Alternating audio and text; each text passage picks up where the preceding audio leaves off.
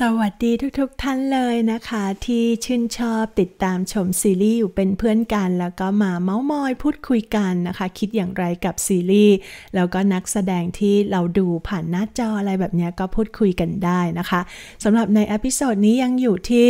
เรื่องราวหญิงสาวอัญมณีค่ะหวานว่าบทละครมีความน่าสนใจดีนะคะ เรามาวิเคราะห์กันนะคะ ตัวละครชุยซือจิวนั้นตอนนี้นางเปลี่ยนจากการใส่เสื้อผ้าเป็นผู้ชายเนี่ยมาใส่เสื้อผ้าผู้หญิงแล้วนะคะ ซึ่งณจุดนี้ก็ยิ่งทำให้เราเข้าใจว่าทำไมต้วนอูนะคะ นางเอกของพวกเรานั้น ถึงแบบให้การช่วยเหลือนางด้วยทั้งๆทที่ตัวละครตัวนี้เนาะยายซุยสือจิ๋วนี้ก็ไม่ใช่ตัวละครที่จะมามีความเมตตาปานีกับนางเอกของพวกเราในช่วงแรกนะคะสำหรับเราตัดฉึบมาเลยค่ะในตอนที่หลังจากตระกูลชุยที่เขาดูแลเหมืองไอ้ตรงนั้นนะพังมาเรียบร้อยแล้วอะนะคะ ทางด้านของชุยซือจิวนั้นกลายมาเป็นขอทานนะคะ สกรปรกเลอะเทอะไปหมดกำลังจะโดนจับไปขายอะไรอย่างเงี้ยนะคะ โดนเรียบร้อยแล้วก็แบบหนีออกมาได้นะคะ กับคนรับใช้แต่ตอนแรกนั้นนางพลัดหลงกับคนรับใช้สองคนก่อนนะคะ ซึ่งเดี๋ยวมาเจอกันทีหลังนั่นเองค่ะ ในตอนที่แม่นางซุยซือจิวนี้นะคะ ปรากฏตัวเข้ามา แล้วเจอนางเอกของพวกเรานะคะ ในตอนนั้นคือนางนั้นแบบโอ้โหสกรปรกเป็นขอทานนะคะ ก็ในยุคนั้นนะคะก็ยังมีคนยากจนขอทานที่เดินขอทานแล้วก็ป้วนเปี้ยนไปมาอยู่บนถนนด้วยนะคะ ในตลาดอะไรแบบนี้ คนเหล่านี้นะคะเราดูแล้วก็จะช่วยเหลือตัวเองไม่ได้เลยนะคะ แม้แต่กระทั่งการทำงานหนัก เพราะว่า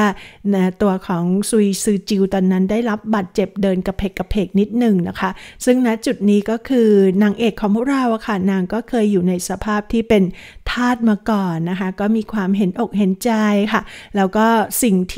คนเป็นทาสคนเป็นขอทานนั้นอยากได้รับมากที่สุดนะคะ ก็คือการได้รับการยอมรับด้วย แล้วก็การเคารพจากผู้อื่นเช่นเดียวกัน นอกเหนือจากเรื่องของเสื้อผ้าอาหาร แล้วก็แบบเงินทองบ้างอะไรเล็กน้อยอย่างนี้นะคะ แต่อย่างไรก็ตามค่ะทางด้านของซุยซือจิวนั้นกลับมาก็เห็นว่าแบบอุ้ยเข้าไปที่ครอบครัวก็คงไม่ได้ สภาพเป็นขอทานแบบนี้นะคะ ทุกสิ่งทุกอย่างมันท้อใจไปหมดเลยนะคะ ในจุดเริ่มต้นของเรื่องนะคะ คือตัวละครตัวัวนี้เป็นตัวละครที่มีมิติมากเลยค่ะ ในตอนเริ่มต้นนั้นนะคะ เป็นผู้หญิงที่อยากจะสำเร็จความแบบเหมือนผู้ชายมีความสำเร็จนะคะ ในการดูแลกิจการอะไรแบบนี้ค่ะ แต่ว่านะคะในจุดของการใช้กลยุทธ์ แล้วก็ความโหดเนี่ยในช่วงแรก ๆ พวกเราจะเห็นว่าก็ไม่ได้เลวร้ายไปกว่าเหยียนจือจิ้งนะคะ เหยียนจือจิ้งเองก็ใช้วิธีโหดๆเช่นเดียวกัน แต่ถ้าถามถึงหัวสมอง การทำธุรกิจแล้วก็การดำเนินแผนงานทั้งหลายเนี่ยคือเหยียนจือจิ้งนั้นแน่นกว่านั่นเองค่ะ การเรียนรู้นะคะ ความกล้าหาญแล้วก็คือเหยียนจือจิ้งนั้นเป็นผู้ชายที่ผ่านแบบการเดินทาง มาแล้วเต็มไปหมดเลยนะคะ คือคือเขาเดินทางค้าขาย ก็เลยทำให้ประสบการณ์เขาเปิดโลกได้มากกว่า มากกว่าซุยซือจิว แล้วก็เหยียนซือจิ้งนั้นกลับมาเพื่อที่จะ เหยียนจืดจิ้งกลับมาเพื่อจะแก้แค้นค่ะ เพราะฉะนั้นแล้วนะคะก็เขาเล็งเป้าไว้อยู่แล้วนั่นเอง ก็เลยทำให้นะคะ สู้ยังไงสู้ยังไงเนี่ยซุยซือจิ๋วก็แพ้เหยียนจืดจิ้งอยู่ดีจนกระทั่งถึงการล่มสลายของครอบครัวไปเรียบร้อยแล้วนะคะ ตั้งแต่นะคะจุดที่นางไปไปเขาเรียกว่าไปมีส่วนเกี่ยวข้องเนี่ยก็ตั้งแต่ที่หอมุกนั่นเลยนะคะหอมุกที่เหมืองไข่มุกนั่นแหละค่ะ ก็ตามกันมาเรื่อยๆนะคะ ไปจนถึงกวางโจโน่นนี่นั่น แล้วก็จนกระทั่งทุกอย่างล้มเหลวนะคะ ขาดทุนขายร้านปิดร้านไปเยอะแยะ เพราะว่าเอาเงินมาสำหรับหาซื้อไข่มุกบรรณาการ ซึ่งตระกูลซุยนั้นมีหน้าที่ที่จะต้องส่งถวายไปในพระราชวังนั่นเองนะคะ ส่วนในปีนี้ทำไม่สำเร็จค่ะ ก็ได้รับโทษแล้วก็ แต่ว่าก็ติดสินบนเนาะก็ช่วยช่วยให้ขุนนางแบบที่เขารับสินบนเนี่ยค่ะ ก็ช่วยช่วยมาโดยตลอดเลย แต่ในที่สุดแล้วก็ไม่รอดนะคะ ประมุขของตระกูลซุยเองก็ตัดสินใจที่จะฆ่าตัวตายโดยการแขวนคอตายนั่นเองค่ะ ก็ทำให้นะคะกับดักของ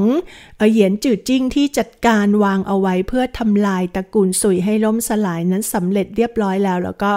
เหยียนจื่อจิงเข้าเทคโอเวอร์ไปเลยทั้งหมดนะคะ ห่วงโซ่ทุนทั้งหลายเนี่ยพังทลายหมดแล้วค่ะ ทางด้านของซุยซือจิ่วเองนะคะ ก็เลยเอาละ ก็ประเมินละทุกสิ่งทุกอย่างนะคะ ก็ทำอะไรไม่ได้ตอนนี้เงินทุนก็ไม่มีอำนาจก็ไม่มีทางด้านของตระกูลเจิ้ง ซึ่งเป็นคู่มั่นกันอยู่เนี่ยนะคะ เหล่าบรรดาผู้อาวุโสตระกูลเจิ้งก็ไม่ต้องการ จะได้สะพ้ยแบบนี้แล้วอะไรแบบนี้แต่เพียงแต่ว่าก็โชคดีนิดนึงนะคะ ที่เจิ้งจื่อเหิงนั้นคือรักชุยสื่อจิ๋วมาตั้งแต่ที่เป็นเด็กๆ คือเขาโตมาด้วยกันนะคะทีนี้ตามแนวของหนังจีนเนาะซีรีส์จีนก็ถ้าอยู่ใกล้ชิดกันมาตั้งแต่เด็กเนี่ยก็โตขึ้นก็จะแบบอุ้ยรักฝังฝังใจ บางเรื่องนะคะบางเรื่องก็รักกันทั้งคู่ บางเรื่องก็คนหนึ่งรักอีกคนหนึ่งมากสำหรับเรื่องนี้นะคะก็คือฝ่ายชายนั้นรักฝ่ายหญิงมากค่ะ แต่ว่าฝ่ายหญิงนั้นไม่ชอบ ดูถูกไงว่าทางด้านของเจิ้งจือเหิงนั้นเป็นลูกอนุนะคะ เป็นลูกเมียน้อยทางด้านของตัวเองนั้นเป็นลูกสาวของฮูหยินใหญ่อะไรเงี้ยก็เลยไม่อยากจะแต่งด้วย แต่ตอนนี้ไม่มีทางเลือกแล้วนะคะ ก็กลายเป็นว่านะคะทางด้านของออตัวของนางเนี่ยก็เลยหลังจากที่ได้มาอยู่กับทางเจิ้งจือเหิงแล้วที่เรือนด้านนอกนะคะ ไม่ได้เข้าไปอยู่ในตระกูลเจิ้งหรอกเพราะว่าก็แอบเออเป็น คือยังไงดีละ่ะ เหมือนคนสมัยนี้เนาะที่แบบลูกชายไปมีเช่าคอนโดอยู่ข้างนอก แล้วก็เอาสาวๆนะคะที่เอาสาวๆไปไว้ในคอนโดอะไรเงี้ยไม่ได้เอาเข้าบ้านนะคะ ก็อารมณ์เดียวกันนะคะ ก็อันนี้ก็เอาไปไว้ที่เรือนด้านนอกนั่นเองแล้วก็ตัวของนางพอได้เจอนะคะ แบบ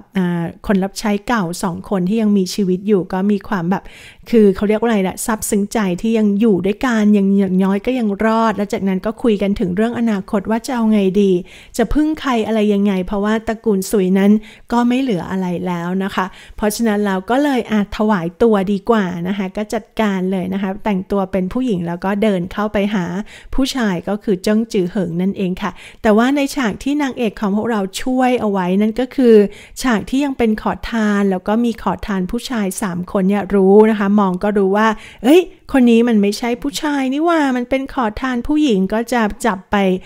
ข่มขืนระบายความใคร่อะไรแบบนี้นะคะ นางเอกของเราก็เข้าไปช่วยเต็มที่เลยนะคะ มีมีดสั้นอันหนึ่งก็โชโชโชไปนะคะ ซึ่งณจุดนี้ก็คือนางเอกของพวกเราก็อย่างที่หวานบอกไปตั้งแต่ข้างต้นแล้วนะคะ จะมีใครเข้าใจชีวิตของความเป็นทาสแล้วก็ความเป็นขอทานเนี่ยได้ดีกว่านางเอกของพวกเรานะคะ เพียงแต่ว่านางเอกของพวกเรานั้นเนี่ยไม่ได้มีช่วงชีวิตที่เป็นขอทานค่ะ นางเอกของพวกเรามีช่วงชีวิตที่เป็นทาสเพราะว่า อืม คือยังไงดีอะคือ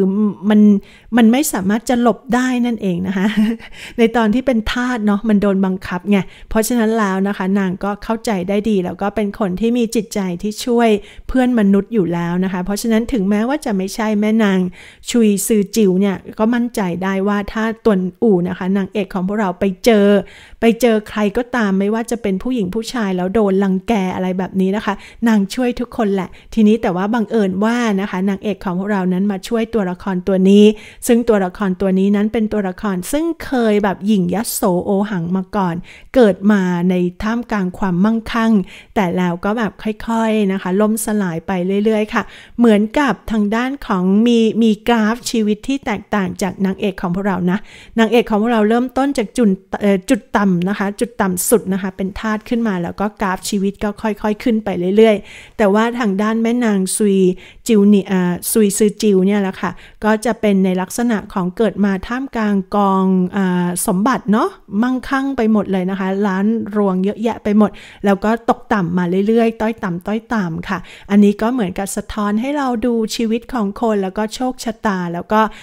วิธีการต่อสู้นะคะ เพื่อที่จะพังอาจขึ้นมาอีกครั้งหนึ่งจะทำสำเร็จไหมอะไรไหมถ้าเป็นผู้หญิง ก็เป็นกรณีศึกษาที่น่าสนใจนะคะ ก็สำหรับเรื่องนี้รับบทหนักหน่อยนะคะเดี๋ยวเรารอดูเรื่องต่อไปนะคะของคุณเซี่ยเข่ออิ๋นนะคะ เธอก็เป็นดาราสาวสวยอีกคนหนึ่ง แล้วก็ทางค่ายก็กำลังแบบสนับสนุนผลักดันเต็มที่เช่นเดียวกันนะคะ ก็ขอให้ทุกท่านมีความสุขมาก ๆ เลยนะคะ แล้วก็อย่าลืมดูเรื่องราวหญิงสาวอัญมณีเป็นเพื่อนกันค่ะ หวานลาไปก่อนนะ มีความสุขกันมาก ๆ นะคะ สวัสดีค่ะ